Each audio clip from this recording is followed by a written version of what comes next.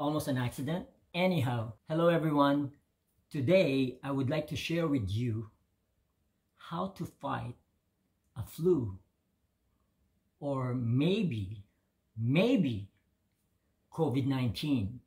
I have learned this remedy from my mother. She is now gone and I continually do this remedy today. So, here's what you will need. You will need a cup, a teaspoon, a blanket,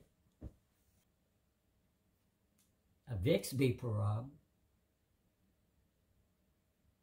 and lastly, a boiling hot water. Right now, the hot water is being boiled. Okay, guys, I got the hot water. So what you will need to do is to pour the boiling water to a bowl.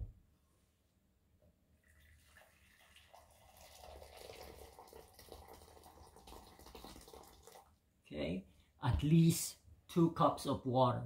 As you can see, the heat coming out from the bowl, you need to add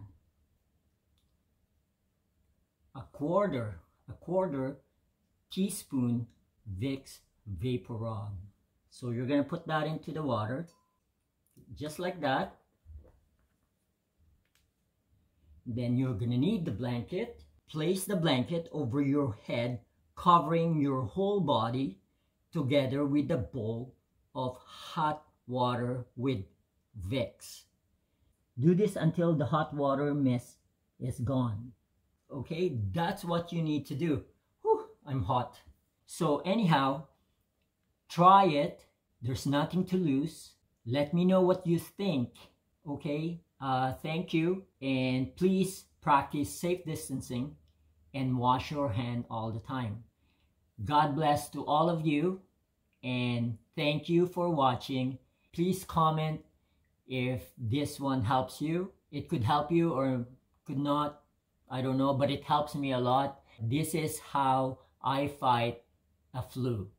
You might have to do this once or twice in a day, but I guarantee you the next day you will feel good. Okay? Maybe it will help us fight COVID-19 also.